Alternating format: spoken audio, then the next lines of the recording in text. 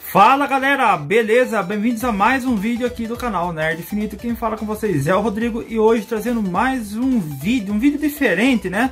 Eu trago muitas gameplays aqui no canal de Benchmarks, mostrando o desempenho de vários PCs que eu tive aí ao longo do canal. E no vídeo de hoje eu vou estar tá falando aí do processador Ryzen 5 Pro 4650G. A gente sabe que nessa pandemia, nessa crise que a gente tá vendo aí, a mineração deu aquele boom gigante, né galera?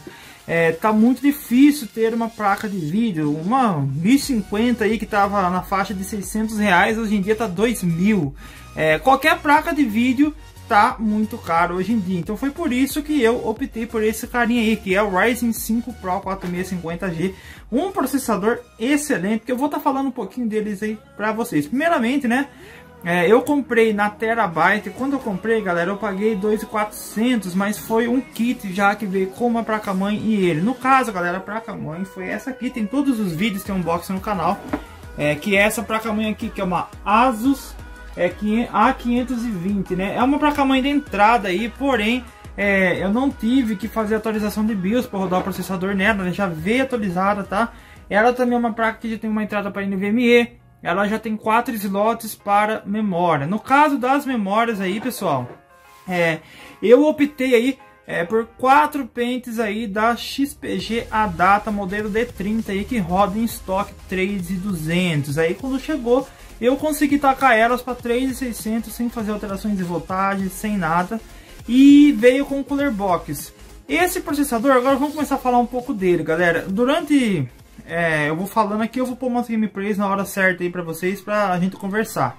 É, ele veio com o Cooler Box, no Cooler Box estava chegando até uns 70 graus, dependia como estava o dia, estava muito quente, ou o jogo, o aplicativo que eu estava usando. Então por isso eu decidi também estar tá comprando né, um Cooler Box, mas não qualquer Cooler Box, na realidade foi um Air Cooler, porém um dos mais baratos aí da atualidade e todo mundo fala bem dele, que no caso é esse aqui ó, que é o GameMax 400 V2. Eu já tive dois desses. Eu tive um outro desse aqui vermelho que eu usei no meu Ryzen 7 Pro, 1700 Pro, né? E optei por outro agora. Esse dessa vez é um modelo azul, cara. E a temperatura agora não passa mais de 55 graus. Foram praticamente de 15 a 20 graus aí é, de diferença que eu tive. E agora, galera, é, falando francamente sobre o processador, né? Eu vou deixar passando agora as gameplays, vocês vão estar tá vendo aí. Rodou muita coisa, muito jogo legal. Como eu disse, pessoal, rodou muita coisa. Agora vocês estão acompanhando as gameplays aí, no caso aí de ARC, né? No modo aí DirectX 10 Low End Graphics. Porém, é, deu para jogar tranquilamente. Eu coloquei no modo low end, mas taquei tudo no app, como vocês viram aí. Esse modo aí tira umas coisas do chão, só que o jogo fica muito fluidão. E sempre falo, né, galera? É, eu uso um programa para estar tá gravando, né? eu não tenho uma placa de captura e por isso eu acabo perdendo muito desempenho. Vocês podem contar aí que eu perdi uns 5 quadros aí só por estar tá capturando. Eu separei uns clipes nos momentos aí das gameplays. No caso do Ark aí, ó, rodou sempre acima de 35. lembrando, né, que Ark é um jogo muito exigente. Far Cry 5, ó, rodando em HD, tudo no Ultra, acima de 30 quadros. Galera, uma coisa que vocês têm que entender, para quem quiser pegar esse processador para ir quebrando galho, é que você vai conseguir rodar praticamente qualquer game existente. Uma coisa que eu falo é que 1080p fica um pouco pesado em alguns games. Dá para jogar 1080 com tudo no baixo, dependendo do jogo até menos de 30, tá? Mas em HD eu garanto para vocês aí que vocês vão rodar acima de 30 qualquer game. No caso do Far Cry, um jogaço aí, ó, rodando tudo no Ultra, gravando acima de 40. E não é só jogos leves não. No caso aí vocês estão vendo agora o jogo Control, né, que deu na Epic Games, um jogaço, um jogo aí referência para teste, um jogo muito pesado que eu particularmente achei que não ia rodar. No caso dessa gameplay de fundo que vocês estão vendo aí, ele está rodando em 1080p com tudo no baixo. É um jogo que mesmo desativando todo o gráfico dele, vocês estão vendo que tá bem bonito, né? Eu tô pegando do YouTube esses clipes, então já perde uma qualidade. Mas, galera, rodou na faixa de 27 a 30 quadros. Isso é claro porque tá gravando, beleza? Sem gravar, eu pegava 32, 33, 35, tá? E se colocar em HD vai para cima de 40, um jogo bem pesado aí como o Control. No caso aí também temos agora Dead by Daylight. Muita gente queria ver um trecho desse jogo rodando nesse processador porque não tinha na internet. E rodou tudo no Ultra Full HD acima de 30, como vocês estão vendo aí. É um jogo bem escuro, então não dá para ver muita coisa nesse vídeo aí. É, mas cara, rodou tranquilo. Qualquer jogo, galera, acima de 30 tá jogável. É, é claro que para competitivo, como Warzone da vida aí, é bom 60, mas no processador aqui é difícil a gente conseguir um 60 no Warzone em jogos muito pesados, mesmo em HD.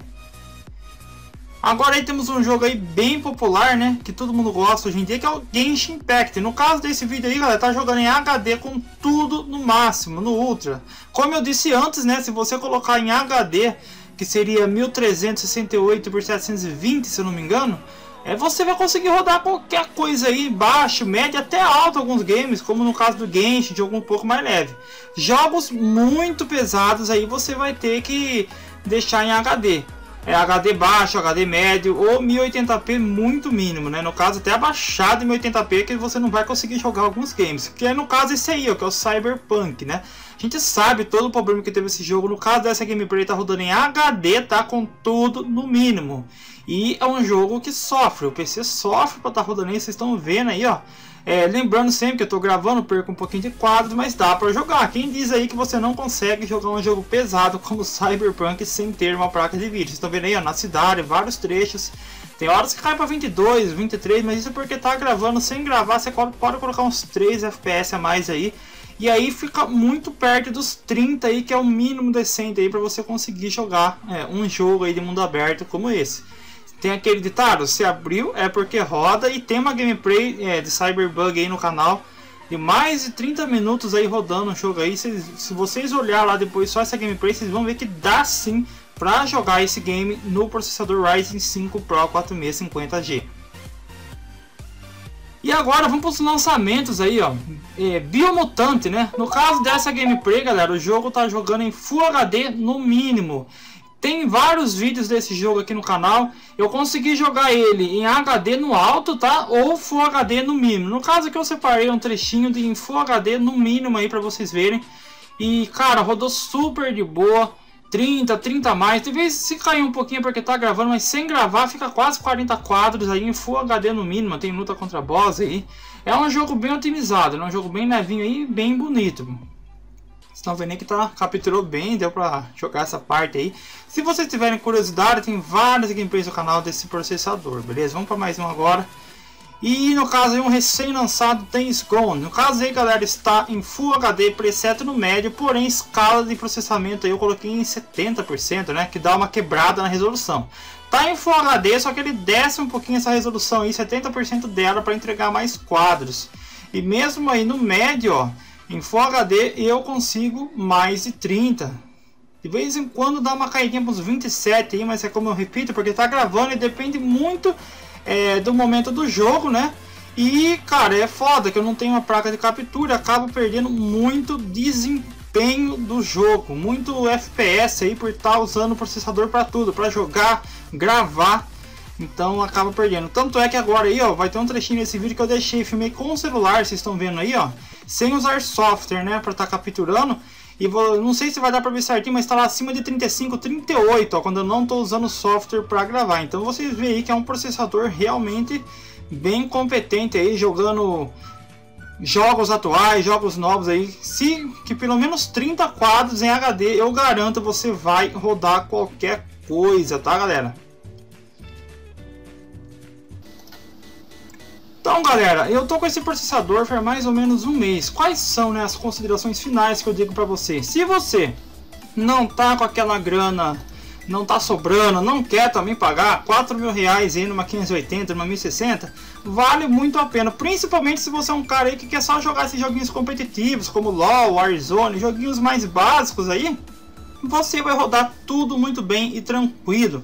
Mesmo aí, se você quiser jogar jogos novos, jogos atuais aí, você vai conseguir jogar. Só que é claro, você vai ter que estar tá abrindo mão dos 60 quadros e muitas vezes aí abrir mão do Full HD e jogar o jogo em HD. É um processador que na China você está encontrando na faixa dos R$ 1.500 e aqui no Brasil na faixa de R$ 1.800, né?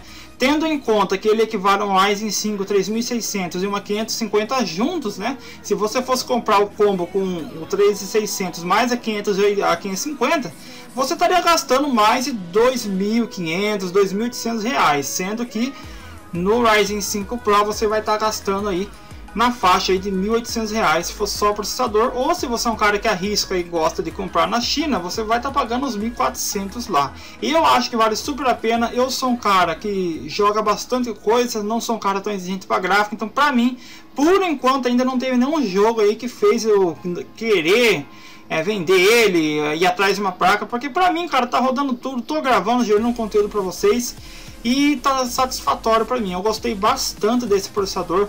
Recomendo vocês aí que tá com uma grana fraca, não quer investir numa placa agora, vale super a pena, tanto ele quanto o 53400, né? Eu não tive os outros, é, mas esse aqui eu posso falar para vocês aí que é um dos melhores processadores aí. Tanto quando tá com placa de vídeo, que ele, como ele é um 3600, ele vai levar qualquer placa de vídeo quando você colocar uma, ou para estar tá jogando sem placa, somente com a integrada, também ele vai te suprir bastante aí, beleza? Então é isso, galera. Esse foi o vídeo, né? Falando o que eu acho, o que eu achei do processador. Se você curtiu, deixa um joinha, se inscreve e compartilha, beleza? Um grande abraço, até a próxima, valeu e falou!